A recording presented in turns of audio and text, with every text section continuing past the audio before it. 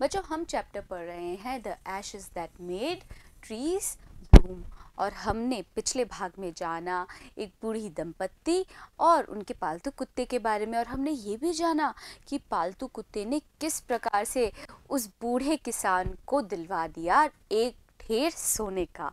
चलो जानते हैं कहानी में आगे क्या हुआ और शुरू करते हैं इस चैप्टर के दूसरे भाग की। Thus, in an hour, the old couple were made rich. तो बच्चों, इस प्रकार से एक ही घंटे में ये जो बूढ़ी दम, बूढ़ा दंपति था ना, वो क्या हो गए? वो अमीर हो गए। The good souls bought a piece of land अब चूँकि ये बूढ़े दंपति कैसे थे बच्चों? बहुत दयालु थे, बहुत उदार थे। इसी कारण से ये जो अच्छे लोग थे गुड सोल्स मतलब ये जो अच्छे लोग थे they bought a piece of land उन्होंने ज़मीन का एक टुकड़ा खरीदा। Made a feast for their friends and gave plentifully to their poor neighbours और फिर उन्होंने एक भोज का आयोजन किया अपने मित्रों के लिए। और फिर एकदम प्लेंटीफुली मतलब कि प्रचुर मात्रा में अपने गरीब पड़ोसियों को भी धनराशि दी और भोजन का खाना दिया। एज फॉर द डॉग जहाँ तक कि कुत्ते की बात है they petted him till they nearly smothered him with kindness तो बच्चों, जहाँ तक कि कुत्ते की बात है, ये जो बूढ़ी दम, बूढ़ा दंपति था ना, इन लोगों ने क्या किया? इन लोगों ने स्मॉदर किया, यानी कि दबा दिया, एकदम प्यार से उस कुत्ते को ऐसे गले लगाया कि बिल्कुल दबा ही दिया था उन्होंने उस कुत्ते को। और फिर कैसे किया? भाई, उन्होंने बहुत दयालुता के साथ उस कुत्ते को अपने गले लगा लिया। Now, in the same village, there lived a wicked old man and his wife. अब बच्चों उसी गाँव में जहाँ पे बूढ़ी बूढ़ा दंपति और ये कुत्ता रहता था उसी गाँव में रहा करता था एक विकेड ओल्ड मैन और हिज वाइफ विकेड मतलब बुरा. तो एक बुरा आदमी और उसकी पत्नी रहते थे। Not a bit sensitive and kind अब ये जो बूढ़ा आदमी और उसकी पत्नी थे ना, ये जो बुरे, बूढ़े आदमी और उसकी पत्नी थी, ये बिल्कुल भी संवेदनशील और दयालु नहीं थे। Who had always kicked and scolded all dogs whenever they passed their house. और ये जो बूढ़ी दंपत्ति थे, वो क्या करते थे? वो लात मारते थे और डांटते थे सारे कुत्तों को, जब भी कोई कुत्ता उनके घर के आसपास से गुजरता था। तो बच्चों, यहाँ पे हमने क्या क्या शब्द पढ़े हैं, देखो, रिवाइज करते हैं। सबसे पहला है फीस्ट यानी कि दावत।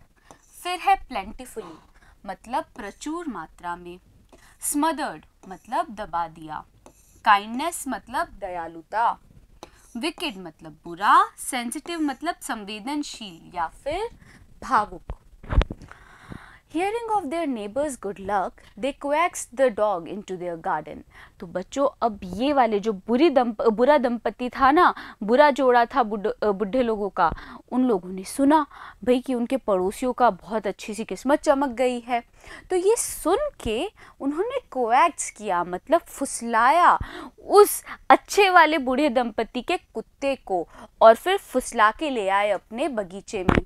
And set before him bits of fish and other dainties और फिर उस कुत्ते के आगे मछली और बाकी स्वादिष्ट भोजन जो था वो रखा hoping he would find treasure for for them अब बच्चों, क्यों किया इस बुरे वाले बूढ़े दंपति ने ऐसा? क्योंकि वो आशा कर रहे थे कि वो जो कुत्ता था वो ढूंढ के देगा खजाना उनके लिए भी।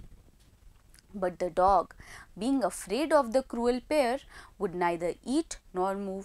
पर ये जो कुत्ता था ना बच्चों, जो कि भयभीत था, डरा हुआ था, इस क्रूर जोड़े से वो ना तो खाता था, ना वो हिलता था। Then they dragged him out of the doors taking a spade and hoe with them उसके बाद उन्होंने क्या किया जानते हो? उसके बाद में उस बुरे बूढ़े दंपति ने घसीटा उस कुत्ते को दरवाजे के बाहर और अपने हाथ में लिया एक फावड़ा और एक कुदाली।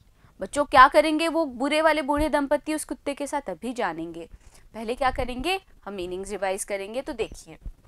किक्ड यानी कि लात मारी। फिर है स्कोल्डेड मतलब फटकारना। कोएक्स्ड मतलब फुसलाया। डेंटीज मतलब स्वादिष्ट खाना। ट्रेजर मतलब खजाना। अफ्रेड मतलब डर। क्रूअल मतलब क्रूर। पेयर यानी कि जोड़ा। ड्रैग मतलब घसीटा। No sooner had the dog got near a pine tree growing in the garden then he began to paw and scratch the ground as if a mighty treasure lay beneath. तो बच्चों, वो कुत्ते को घसीट के दरवाजे के बाहर ले आए थे ना, वो बुरे वाले बूढ़े दंपत्ति तो जैसे ही कुत्ता पास में आया, एक पाइन ट्री के, बच्चों, एक प्रकार का पेड़ होता है पाइन का तो जैसे ही वो कुत्ता पास में आया, उस पेड़ के, जो कि उग रहा था ग्रो कर रहा था मतलब उग रहा था बगीचे में, तब उस कुत्ते ने आरंभ किया अपने पैर से स्क्रैच करना, खरोचना ज़मीन को। और इस प्रकार से वो कुत्ता खरोच रहा था बच्चों, जैसे कि एक बहुत बड़ा खजाना उस ज़मीन के नीचे दबा हुआ हो। Quick wife hand me the spade and hoe cried the greedy old fool as he dance with joy तो बच्चों, वो जो बूढ़ा था ना, जो बहुत ज़्यादा ग्रीडी था, लालची था, वो क्या करने लगा कुत्ते की ऐसी हरकत देखते हुए?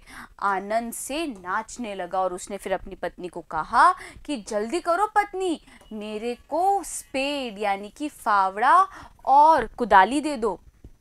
Then the covetous old fellow और उसके बाद वो जो लालची बूढ़ा व्यक्ति था ना फेलो मतलब व्यक्ति तो जो लालची बूढ़ा व्यक्ति था विद अ स्पेड फावड़े के साथ में and the old crone old crone मतलब क्रोन क्या होता है बच्चों?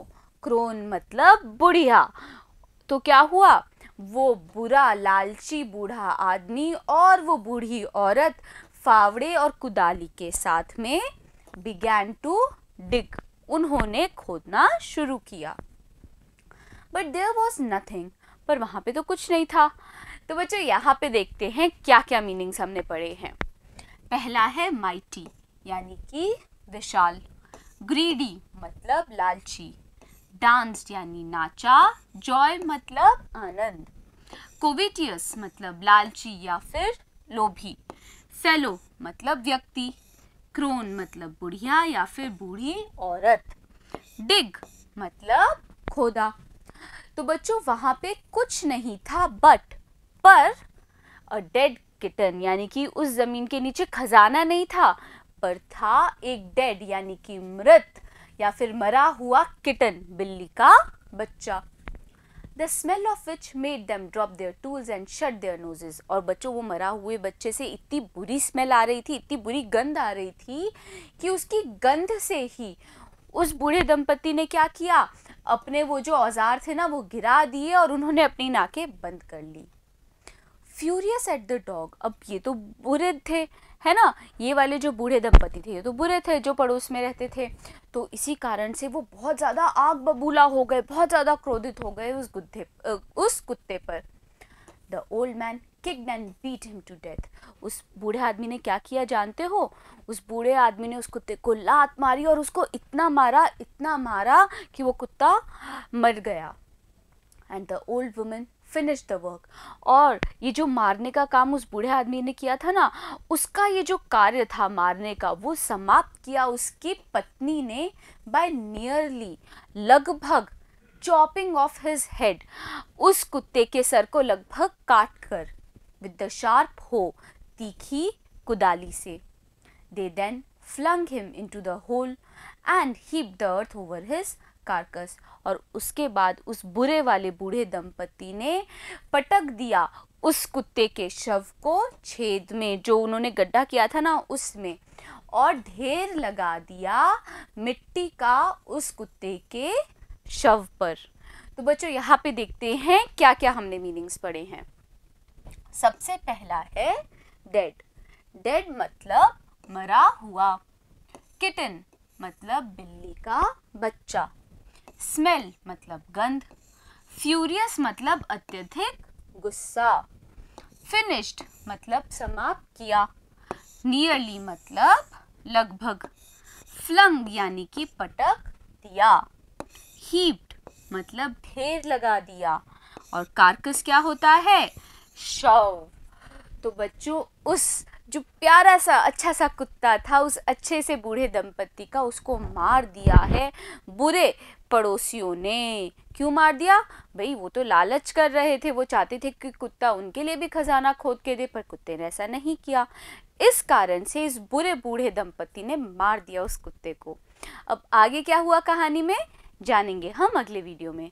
बने रहना मेरे साथ। मिलते हैं अगले वीडियो में।